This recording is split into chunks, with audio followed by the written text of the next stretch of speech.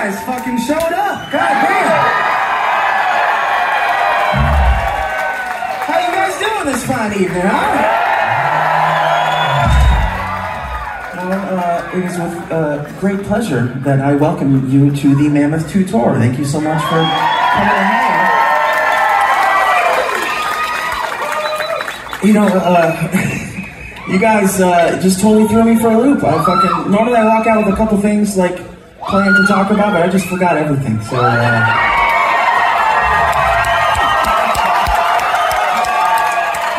play some music then? huh? Here's a new one. It's called Miles Above Me. It goes like this.